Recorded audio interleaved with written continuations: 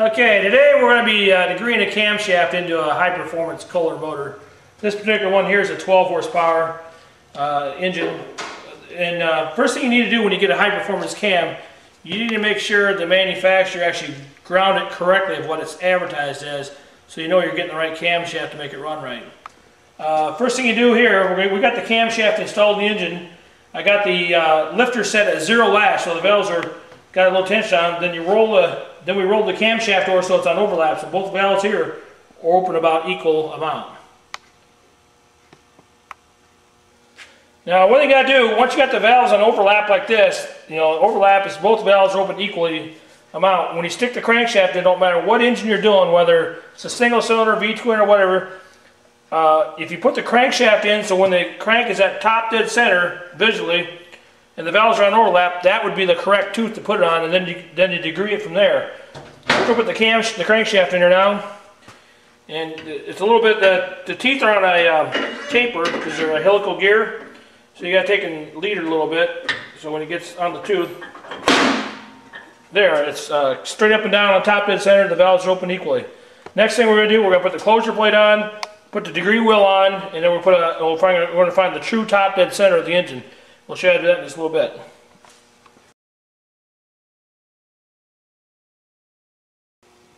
Okay, now we got the crankshaft in, we got the closure plate uh, just installed temporarily. Got the degree wheel on, don't really care about the pointer yet, we just got relatively close. Next thing we're going to do is we're going to put the piston into the hole. And then uh, find top dead center. So uh, drop the piston in there. This piston should come flush up, which it does. And now we're going to put the degree, we're going to put the uh, dial indicator on there next. And uh, that's going to be sitting right on top of the block. I'm going to set it down there so a little tension on this thing here.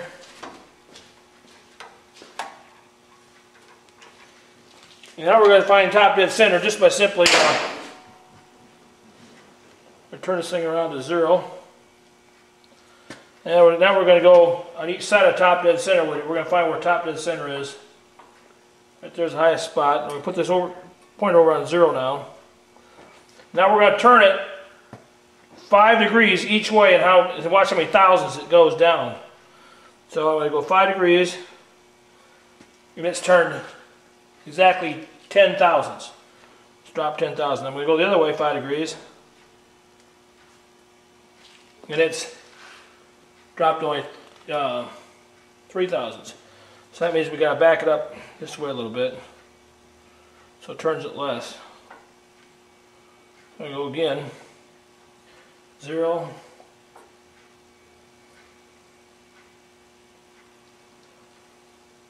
There's about six thousandths. Back here. It's about eight. We gotta go back here about one thousandths. Go here again. Go back to 5 degrees here. Go back here. And that's perfect right there.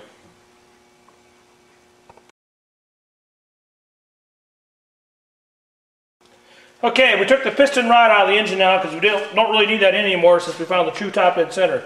Now what we're going to do is go check the duration on this camshaft. I believe this is like a 282 degree camshaft. So we're going to check that right now. And what we're going to do, we're going to make sure this thing's on zero here. And we're going to rotate this around to uh, 50 thousandths opening, and we're going to check that number. Should be coming up here as the exhaust hose starts to close. We're going to check it right about there. We're at 29 degrees. And we're going to roll around to 50 thousandths closing. And we'll see where we're at there. And we're at 80, uh, that's 73, that's uh, 10, 20, wait, 10, 20, 30, 40, 50, 60, 70, 3 degrees. So what you're going to do is uh, take the calculator right over here. We're going to do some quick math here. We're going to go, it's 29 degrees before top dead center, 180 degrees before top dead center and bottom dead center. That's 209. Then we're going to add that 73 to that, 73 plus 282. So the cam is ground correctly. It's supposed to be 282, and that's what checks. Now what we're going to do now, and we're not, we're going to check what the lobe center is that cam, so make sure it's supposed to be ground right. this can's supposed to be 111 degree lobe center. So we take that 282 duration, divide that by 2. That equals 141. And then you take and minus the, that 29 degrees before top dead center. You minus that off there, and that will give you your lobe center. So it's minus 29, minus 20, 29 equals 112. So the can's ground about a degree longer than on the lobe center it should be. Not a big deal, you know, if it's 111, 112 it'd be relatively close, but you kind of want it pretty close to that. Um, so that's what your lobe center is. Now, now we know that, we're going to take and do the math for when that intake valve is supposed to open before top dead center. So we take 282, divide that by 2, equals 141, and minus the lobe center, 112, equals 29. So, it, so where it should be set at 29, 29 degrees for top dead center, and it just happens to be sitting right in the correct spot. If it's not, you just loosen the bolt from the camshaft and rotate around until that number comes in where it should be. And you always, need to remember that, remember that and uh, we'll go over it on the whiteboard here in a little bit, how to do that. So um, that's supposed to be at 29. Let's do that. Okay, we've just got done degreeing this camshaft in. It'd like to be at 29 degrees timing at 50 thousandths lift. Now we're going to uh, adjust the cam. Uh, this one particular cam based on experience seems to run better at 31 degrees instead of 29. So what we're going to do, the best way to do it is get the sink set about 50 degrees, take a little vice grips and stick to the, stick to the hole alongside the cam and grab the cam with the vice grip so you can hold it right in the position it needs to be. And then uh, we're going to go here, we're going to roll this thing around to 50 thousandths lift. And then we're going to clamp the vice grips on there. Now we're at 50,000. Now we're just going to loosen the, now we're just going to loosen the cam bolt up so we can rotate the camshaft around where it needs to be. Let me get this back to 50 because my grip came off.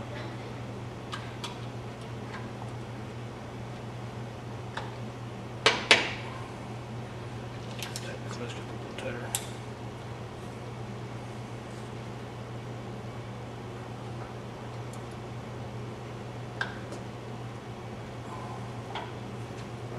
Okay, there's not the incorporated very much. I'm gonna try the vice grip here. Wait.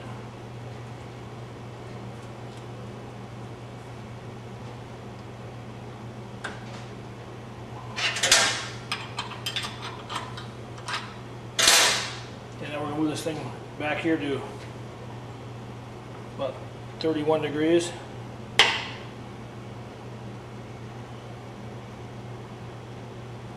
Right there is 31. How about there? Always suck this bolt back up.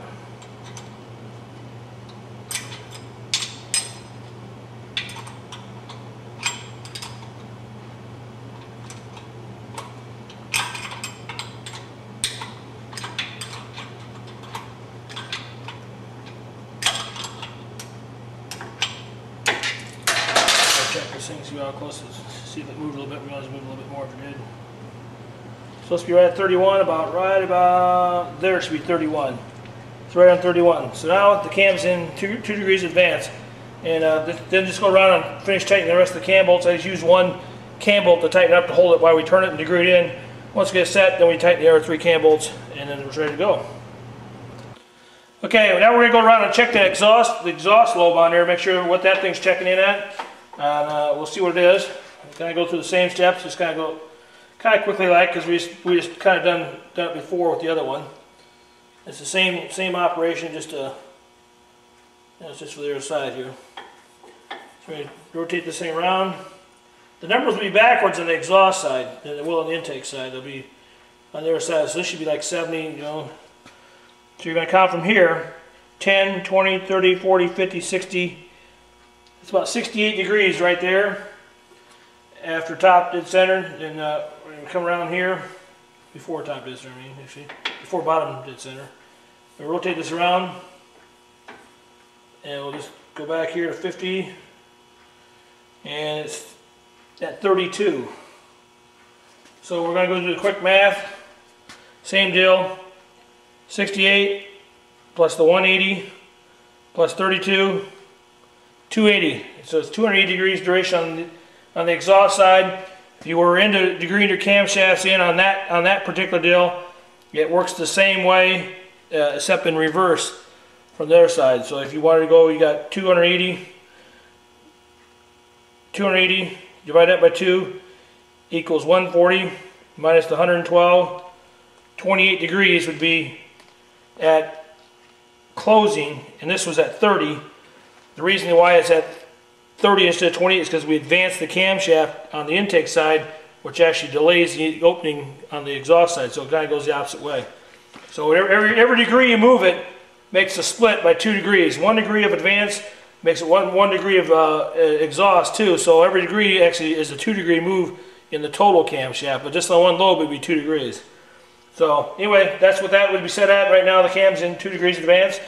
And that's about the uh, easiest, that's about the part of uh, degreeing camshaft center. It's pretty easy, pretty straightforward once you know how to do it. And uh, once you understand what's happening, um, it's easy to work out, out with. Put the engine back together, then you go back and set your valve lash at, you know, typically intake lash is 8 to 12 thousandths, exhaust lash 12 to 15 thousandths. That's usually hit you in the ballpark. And once you get more attuned to uh, how to build an engine, you will you can realize that and just by playing with your valve lash you can kind of adjust your timing or your duration your cam a little bit to make the engine run better or worse. Um, some camshafts you have to run like 20 thousandths lash and exhaust to get your better power out of but without a dyno you really can't tell that without without you can't tell on the track. You almost have to have it on a dyno to see your runs like that so good luck it should work out real good. Having questions give us a call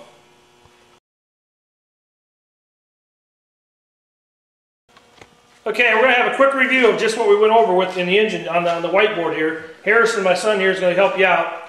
What we're going to do is go over the, the duration. It opened at 29 degrees before top dead center. Then we rotated the crankshaft 180 degrees to get to bottom dead center.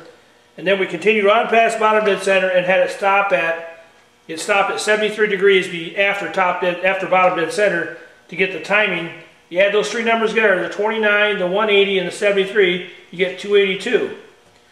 Now, that's what the, that's the duration of the cam. Now we're going to find what the lobe center is. You take that 282 degrees of duration, and you're going to divide it by 2, and that gives you a total of 141. And then you minus this 29 number you had earlier, whatever that number you read, you minus the 29 off that. 29, 141 minus 29 is 112. That is the lobe center, 100 degrees of lobe centers. That's your, that's your lobe center of your intake valve. You go through the same steps on the exhaust valve and figure out what the lobe center of the exhaust valve are. Some cams are ground at the same lobe centers, some are split. And if it's a split lobe, lobe center, say you want to be at, you got a 10, you say you got a 110 and a 112, you know, intake's at 110, and exhaust at 112, you degree that in at 111 would be the straight up number. And you can figure everything else off that for your cam timing. Okay, now we're going to talk about cam timing. Cam timing, you figure that out. This works with any camshaft.